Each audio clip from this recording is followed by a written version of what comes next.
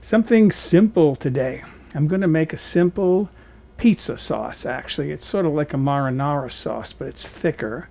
I'm going to get rid of some of the moisture in it, and it tends to be spicier, more herbs, and you can make this as spicy as you want. Some people add cayenne, they add red pepper flakes. I don't like it too spicy, but I need some pizza sauce. So, and I'm going to make this in my sun oven outdoors because it's not even noon yet and it's already 90 degrees outside. So I'm not going to heat up my home making sauce. I'll do it outside in my sun oven. So let's make pizza sauce. One thing I learned in an Italian cooking course I took for nine months make your sauce first in a blender, get it all blended up, and then cook it. Makes it a lot easier. I have some Cento San Marzano tomatoes, and I'm going to carefully dump those in there. Pardon the noise. Okay, that should be good enough. I got enough of it out. And then I have some herbs from my herb garden. Not much parsley because my parsley is in my second year, its second year. So it's going to seed now, and I'll plant the seeds. And parsley lives for two years. The first year you get parsley, the second year you get a lot of parsley as it goes to seed, and then the plant dies. So, parsley, fresh oregano, again from outdoors. Gonna pull off some leaves. I don't like the looks of that one, but I'll pull these leaves off. Some basil, again from my little garden outside. My garden is a bunch of pots on my deck. And if you have um, dried herbs, feel free to use them. And then I don't have an onion, but what I do have from outside is a green onion that I cleaned up. I'm going to cut the root section off. And I'm just going to cut some pieces of the white area of the onion.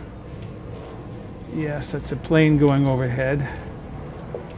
Oh, and I don't have any garlic, but I do have garlic powder. So I'll put some garlic powder in there. Put the lid on, and then turn my blender on, starting at number one. You could add some tomato paste to that if you want to. I don't have any tomato paste. I will have some. I'm going to order some.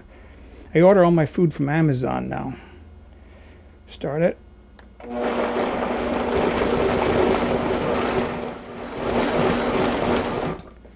And then have a look at it.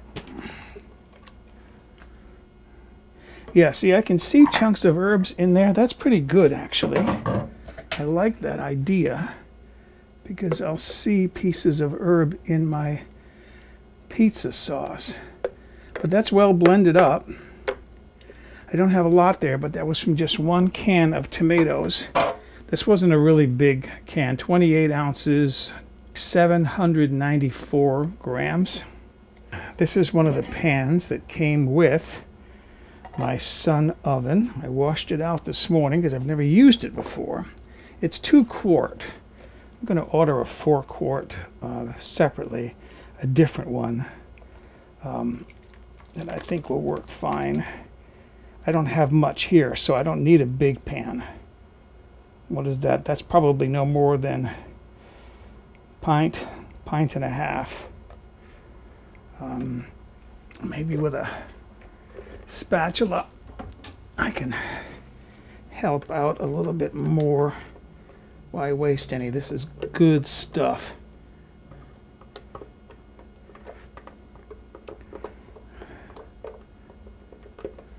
All right, I'm going to put the lid on this and I'm going to take this out to my sun oven, which is out in the sun right now, warming up. I'm just going to cook it kind of slowly. I won't aim the oven so that it gets the most direct energy from the sun. I'll aim it a off a little bit to keep it between, say, 250 and 300 degrees to kind of more slow cook this because I'm going to leave this out there most of the day.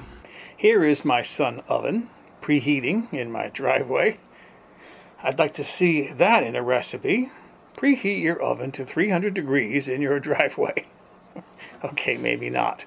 Uh, this here is the hottest my oven got during the early afternoon, 280 degrees. Again, I wasn't trying to cook at the highest temperature because I just wanted to simmer my sauce.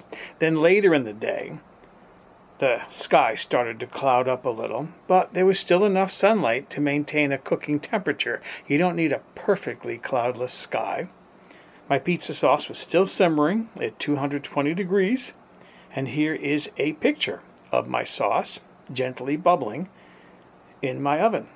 Here we are from out of, whoops, the sun oven. Let's see, is that hot? Yes, that's hot. It should be.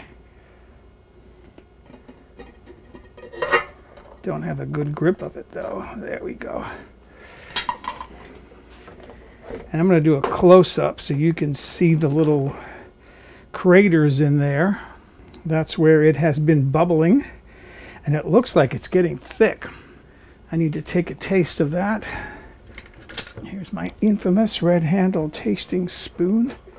But this is going to, oh, look how thick that is. That's going to be, see, it's not runny like a, a spaghetti sauce. That's what I want, something a little thick for a pizza sauce. And one nice thing about cooking in a, in a uh, sun oven is you don't have to worry about things burning on the bottom because there's no heat from underneath. It's basically sitting in this humid oven.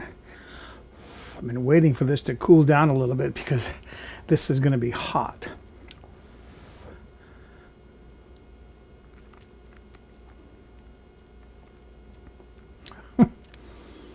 That's good. Now, what I can taste about that is I can definitely taste the tomatoes, of course. It's a tomato sauce.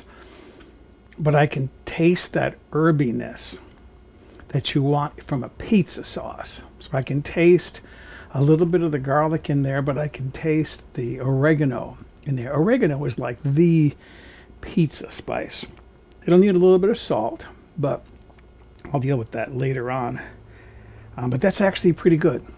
That's actually very good. So that's my pizza sauce that I made in my solar oven. Um, I'll write up the recipe and I'll put it on my website, mobilehomegourmet.com. And one other additional point, you might be wondering, why would I make pizza sauce when it's 95 degrees outside? It's too hot to heat the oven up to make pizza, and I wouldn't make pizza in the sun oven because it doesn't get hot enough to make a crispy pizza crust. It's because I like to make my no oven skillet pizza. Look it up on YouTube and my website, No Oven Skillet Pizza. I do it all in a skillet on top of the stove. And I've heard from people who have made the pizza, and one person said it was the best pizza she ever tasted. I'll leave that for you to decide, but that's why I'm making pizza sauce, is to make no oven skillet pizza.